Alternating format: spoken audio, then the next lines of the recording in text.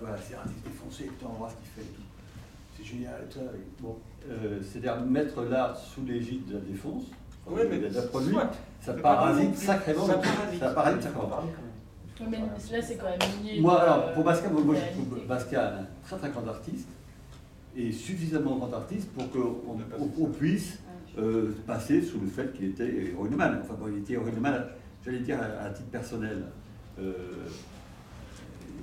sa personnalité était telle que euh, il était artiste et puis qu'il était euh, junkie, voilà. Euh, moi, moi, son œuvre se suffit à elle-même et, et- et je pense qu'enfin, au niveau en tout cas social, elle a été très très parasitée par le fait que c'était l'œuvre d'un euh, grand défoncé, et qu'en plus qui est mort jeune, euh, il est mort à fait 28 vendre, ans comme Janis Joplin, machin, ça fait vendre. Alors de temps en temps, alors bon, que, que, que l'esthète, je suis d'accord, c'est extrêmement euh, totalitaire et dégueulasse. Enfin, normalement, on fait un bouquin, on fait voilà, ce qu'on veut, si c'est vrai. Euh, mais, mais que de temps en temps on allège euh, l'œuvre physique, enfin, De réelle, de tout, de tout ce machin-là. Voilà, alors, c'est, ah, il en est mort, hein, enfin, c'était pas. euh, je veux dire, bon, c'est, pas, c'est pas Oui, forcément. pas un thème de son œuvre. Non, c'est pas, pas- quelque chose de Bah, fondamental. le thème de son œuvre, c'est, sa vie, euh, c'est, les, les ghettos, les machins, euh, euh, société euh, new-yorkaise de. Et puis comme tout le monde en prenait à New York à l'époque. Tout le monde en prenait à New York, voilà, de s'est- 300 mètres Oui, oui, à oui, New. York. Oui. Moi j'ai fait, j'ai l'exposition, j'ai fait marginal. Après, il n'y a, pas qu'à New York, hein, parce que ce que tu Oui, mais les années euh, 80, quoi. La figuration libre, ils échangeaient leur toile contre de la aussi. Oui, oui. On Moi j'ai fait, les- de français des années 60, mon institutionnalisé. moi, j'ai fait l'exposition à, à New York dans une galerie euh, qui était avenue A. À c'était en 88, quelque chose comme ça. C'est une avenue qui était encore euh, très très très très euh, défoncée tout. Il y avait, il y avait un slogan, enfin un graphe là, sur le un graphe, un tag.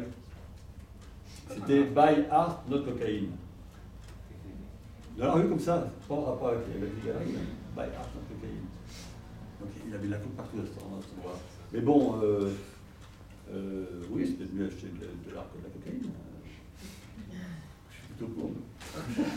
mais mais euh, en effet, ça, ça peut être chiant, en effet, que, que, soit vu comme euh, l'archétype du, du mec. euh, c'est, très romantique, hein, c'est quand même très. La voilà. Mais il y avait une anecdote aussi que, que son galerie, c'était. Ouais. Euh, qui, pour un vernissage en, en Autriche ou en Allemagne, il est arrivé, et pour pour tout qu'il a demandé Pascal, c'est il faut de la coke. Et donc c'est le galeriste qui allait chercher de la coke pour, pour qu'il assure le vernissage. Quoi. Non, on en revient. Bon, au- mais ça, euh, les offres sont là et quand même elles sont, elles sont à la hauteur. Ouais, ouais, ouais, c'est bien sûr. Euh, Tony, tu avais une question? Euh, oui, on a beaucoup parlé d'interdits au niveau de, de, de l'art et des drogues en général. Euh, il y a eu des périodes autour de la restriction, notamment la prohibition. Est-ce que ça a eu une influence sur l'art, euh, tant en bien qu'en mal? Est-ce que ça a fait découvrir d'autres drogues ou ça a eu aucune influence sur l'art à cette période Ah, Bah, j'ai pas de- Ah si, si, alors, il y avait, moi, moi je travaillais à Del Marmottan, il y avait c'était le professeur Levenchen qui, qui, qui avait écrit ça. Il dit que pour la prohi- prohibition, la prohibition avait vidé les hôpitaux psychiatriques. C'est-à-dire que dans les hôpitaux psychiatriques, il y avait plein d'alcooliques, de gens qui, avaient, qui déliraient, quoi. et qu'il y avait une bonne partie de cette population-là, comme il n'y a plus d'alcool, qui, qui, qui n'entrait plus dans les hôpitaux psychiatriques. Alors sur l'art, j'en sais rien. Euh, euh, Une question intéressante, mais moi, les, les, les- je pense que ben, le problème, c'est que l'alcool, la prohibition, ça, ça a sucré l'alcool d'une grande partie de la population. Mais, mais, mais, mais il y a quand même, il y avait encore, euh, bon, euh, tous les films de la mafia, tous les films de ces années-là, il y avait, l'alcool dans les, dans les, dans les backstage, là, dans les dans les, enfin, dans les bistrots, dans les bistrots, euh, dans les sacs en papier, là, ça, ça buvait beaucoup. Hein. Et donc, et donc ces milieux artistiques, je pense qu'ils étaient quand même encore branchés sur les capacités de, enfin les. Est-ce que ça va mis en avant d'autres drogues Euh. Euh, à l'époque, euh, qu'est-ce qu'il y avait euh, il y avait, il y avait l'opium, beaucoup. Il y avait l'alcool. Il n'y avait pas encore les amphés, je crois pas beaucoup. Peut-être la cocaïne au début. Ouais. Il n'y avait pas les hallucinogènes, il n'y avait pas tous les drogues de synthèse. C'était la- l'alcool et l'opium. Alors, bon, c'était pas tout à fait comme l'alcool. C'était comme un peu plus, euh, un peu plus marginal, mais il y avait l'opium plein les, plein les, plein les chocs des, des- des Chinois. hein.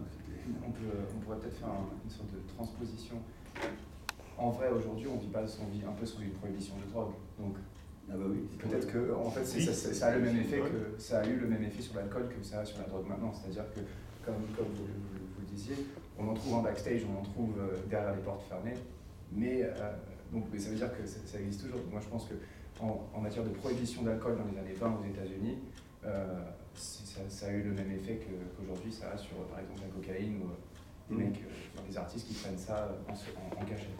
Donc, euh, je pense que fondamentalement, ça n'a pas trop changé euh, la façon dont les artistes de voir la drogue, parce que dans tous les cas, ça se trouve, quoi, ça se trouve.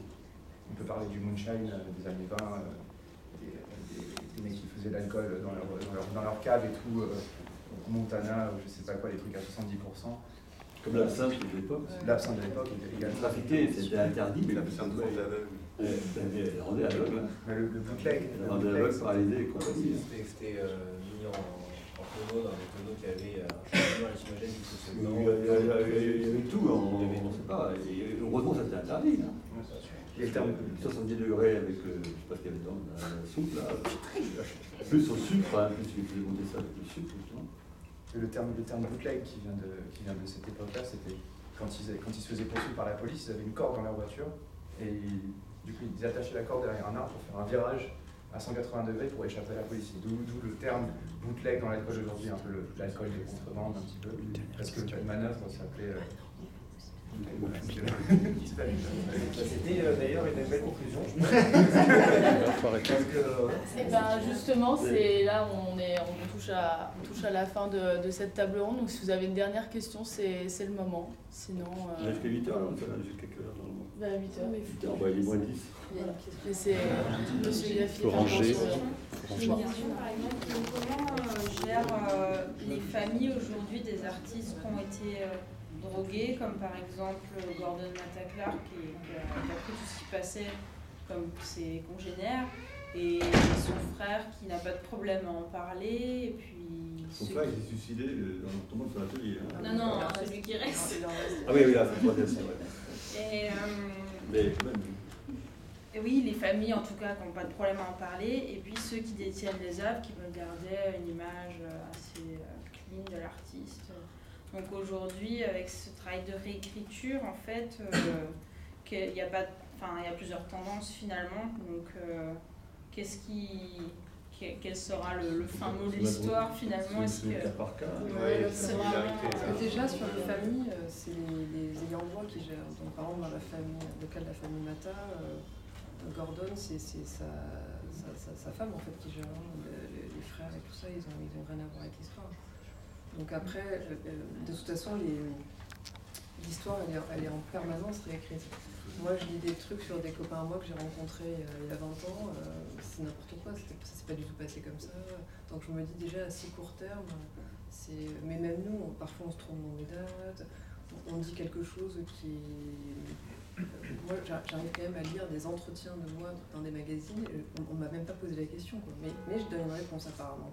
Donc je me dis, mais pourtant c'est tellement... Enfin là, je suis vivante, je suis pas encore complètement gâteuse.